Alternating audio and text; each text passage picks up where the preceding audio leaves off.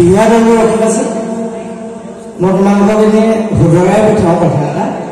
কাৰণ নাচনীজনী যেতিয়া থাকে তোমালোকে ইমান টকা খৰচ কৰি এটা দৌৰ লৈছা। বিহুৱা ল'ৰা যে তুমি সদায় বাঁহতে হ'বা। মনত থাকিবনে? বিহুটো আমি বাঁহৰ পৰা ষ্টাৰ্ট কৰোঁ।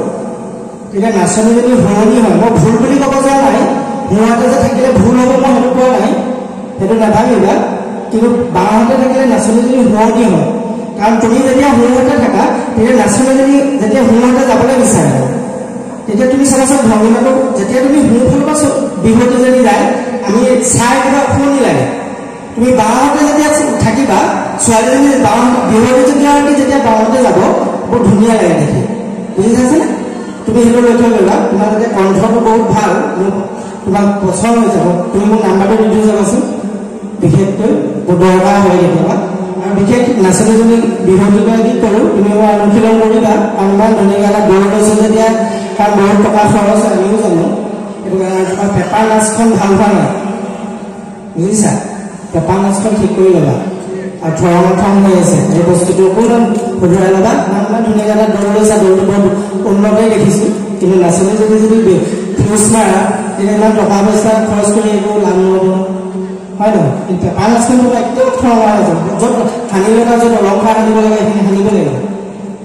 উপস্থাপন যিটো দিছে উপস্থাপনটো তোমাৰ য'ত ভংগীমা কৰিব লাগে তাত উপস্থাপনটো ঠিক হোৱা নাই। সেই বস্তুখিনি মিলাই ল'বা। তুমি সদায় বাৰতে হ'বা। কোৱা হ'লে বেয়া নাপাবা দেই।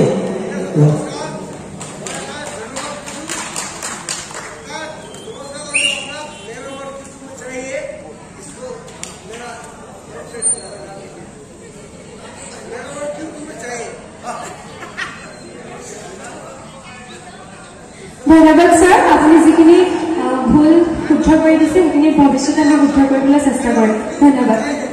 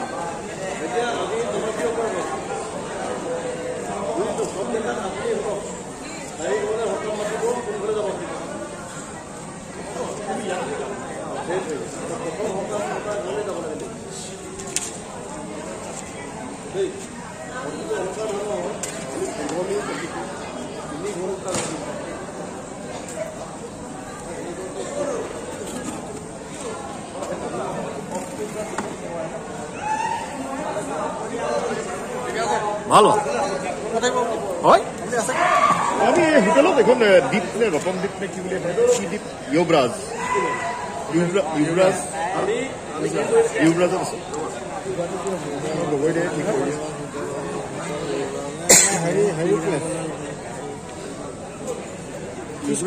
নি? যুৱৰাজত অঁ তাত। অঁ আহিছে।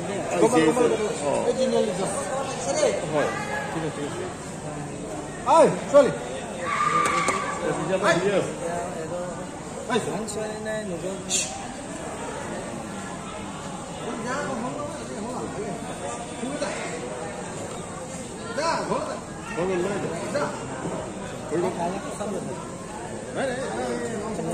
হয়। এইটো বিৰাট ডাঙৰ প্ৰুফ হয় নহয় এইবিলাক বস্তু খুব দৰকাৰ আজিকালি। আজিকালি খুব দৰকাৰ এইবিলাক। একদম নন ষ্টপ আছে বিহু। আৰম্ভ হোৱাৰ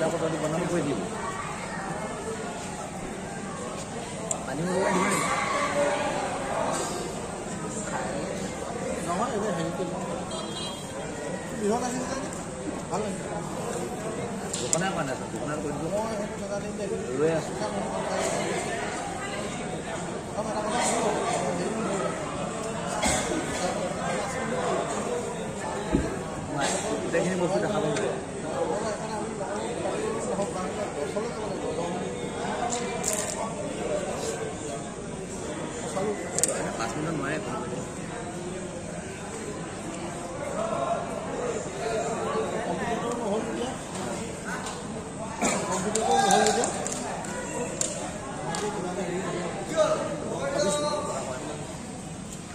控制我。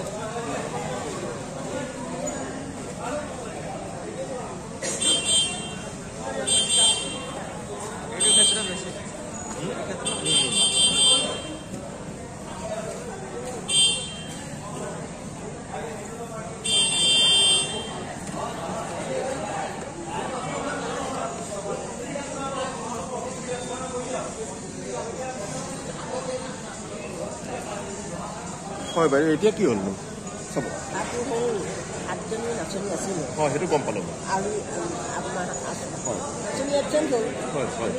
নাই কাৰণ সেইটো একদম চব ৰেকৰ্ড হৈ আছে এতিয়াও ৰেকৰ্ডেই হৈ আছে। প্ৰতিযোগিতা শেষ কৰি দিলোঁ তাৰপিছতো এজনী আহি পালে যেতিয়া তাইক আহি পালেহি যদি আৰু পদকলিকে পৰ বুলি আৰু। হিউমেনিটেৰিয়ান তেওঁ গাঁও নিবুল কৰি আকৌ আহি আছে দুজনী আমি সেইটো অঁ আকৌ নহ'ব দুজনী। নহয় আকৌ দুজনী আহি আছে। সেইটোতো কৰিব পৰা নহ'ব নহ'ব কিন্তু কমিটি একো ভেলু নাই নাচনীটো ক'ত গৈছিলে? কৰিব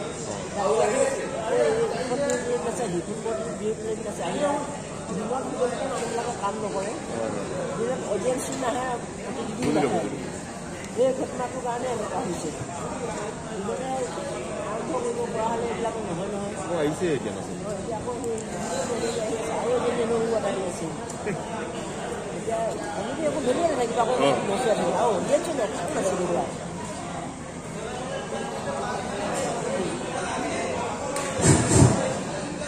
গৌৰৱোজ্জ্বল সোণালী জয়ন্তী বৰ্ষৰ চিলাপতি কেন্দ্ৰীয় বহাগী উৎসৱৰ সমূহ বিষয়ববী আৰু মোৰ জ্যেষ্ঠ আৰু সমূহ বিষয়ববী আৰু জ্যেষ্ঠসকল আৰু শ্ৰদ্ধেয় ৰাইজসকল কাৰণ ৰাইজ বুলি ক'বলৈ এতিয়াতো নায়েই। বিশেষকৈ আজি আমাক যি বিচাৰকৰ গধুৰ দায়িত্ব দিছিলে বিহুৱতী আৰু বিহুৱাৰ বিশেষকৈ এখন মঞ্চত যেতিয়া দিয়া হয় তেতিয়া আমি যিহেতু এখন এখন প্ৰতিযোগিতালৈ আহিলে আমি দিনলৈ প্ৰতিযোগী বিচাৰোঁ আমি সাত আঠগৰাকী হ'লে আমি এটা কম্পিটিশ্যন বা প্ৰতিযোগিতাত আমি নামিব বিচাৰোঁ। কিন্তু তথাপিতো আমি কেতিয়াবা বিমুখ হৈ কেতিয়াবা পাঁচ বা চাৰিগৰাকীতো আমি আৰম্ভ কৰোঁ। কিন্তু যেতিয়া এটা প্ৰতিযোগিতা আৰম্ভ হয় সেই আৰম্ভ হোৱাৰ পাছত প্ৰতিযোগিতাটো যেতিয়া সমাপ্ত বুলি ঘোষণা কৰা হয় তেতিয়া হয়তো সেইটো প্ৰতিযোগিতা আপুনি আকৌ পাতিবলৈ আমাৰ আপোনাৰ অসমৰ্থ হয়। কাৰণ যেতিয়া তাত আৰু ভাল যেতিয়া বিহুৱতীকেইজনী আহি আহে কাৰণ তাত তেতিয়া নাচি যোৱা বিহুৱতীকেইজনী যেতিয়া কম্পিউটাৰ নহয় কিন্তু তাত আমি হয়তো সেইখিনি কমিটিক দুখী বা বিহুৱা এইটো কোনো আক্ষেপ কৰিব নালাগে কাৰণ আমিও বিহু মাৰি চল্লিছ বছৰ বিহু মাৰি আমিও সেইটো আমিও অনুতপ্ত হৈছোঁ কাৰণ আমিও বহুত মঞ্চত গৈ তেনেকৈ ধৰি লওক প্ৰতিযোগিতা যেতিয়া শেষ হৈ যায় তেতিয়া আমি সেই আকৌ কমিটি ৰিকুৱেষ্ট কৰোঁ কিন্তু কমিটিয়ে আকৌ এইটো মানি ল'ব নিবিচাৰে আমিও গুচি যাওঁ। সেইকাৰণে প্ৰতিযোগীসকলক মই অনুৰোধ কৰিছোঁ আপোনালোকে এইটো কোনো দূষিত হ'ব নালাগে। কাৰণ হয়তো আপোনালোকৰো অলপ ক'ৰবাত ভুল অকণমান আছে। কাৰণ দুটা বজাত যেতিয়া প্ৰতিযোগিতা আৰম্ভ কৰিবলগীয়া হয় কিন্তু ইয়াত ৰখি ৰখি আঠ বাজিছিল কিন্তু আঠ বজাৰ পাছতো আমি যেতিয়া নেকি মই বৰদলৈৰ পৰা ইয়াত মই পাঁচটা বজাত উপস্থিত হৈছিলোঁ কিন্তু পাঁচটা বজাৰ পৰা ৰখি ৰখি মই দহটা বজাত প্ৰতিযোগিতাত ইয়াত আৰম্ভ হৈছে। কিন্তু ইমান ৰখাৰ পাছতো আৰু প্ৰতিযোগীসকল আহি নাপালেহি। হয়তো ক'ৰবাত আৰু বিহু আছিলে সম্ভৱ সেইটো বাৰু তেওঁলোকৰ কিন্তু তথাপিতো ইয়াত যেতিয়া সোনকালে দিয়া হৈছিলে ইয়াত হয়তো মাৰি যদি আজৰি হৈ গ'লেহেঁতেন তেওঁলোকৰ অকণমান সুবিধা হ'ল হয় কিন্তু সেইকাৰণে বেছি দুখ কৰিব নালাগে আৰু মই ইয়াতে এতিয়া প্ৰতিযোগিতাৰ আজিতো এতিয়া প্ৰতিযোগিতা আমি পাচলি কৰিব নোৱাৰিলোঁ বিশেষকৈ দুগৰাকী হোৱাৰ বাবে কাৰণ প্ৰতিযোগিতা সমাপ্ত হ'ল। যি নহওক আমি বিচাৰকসকলৰ আৰু কমিটি সিদ্ধান্তৰ মৰ্মে আমি এটা সিদ্ধান্তৰ উপনীতি হ'লোঁ। আমি যিহেতু তিনিগৰাকী প্ৰতিযোগী কাৰণ ইমান মই অনুৰোধ কৰিছোঁ। তেওঁলোকে গোটেই তিনিগৰাকী প্ৰতিযোগীক যাতে এটি কিছুমান সামান্য সন্মানেৰে যাতে তেওঁলোকক সন্মান কৰে তিনিগৰাকী প্ৰতিযোগী। ইয়াকে কৈ আৰু মোৰ চকুত সময় আমাৰ ব্যৱসায় ইয়াকে সামৰণি মাৰিছোঁ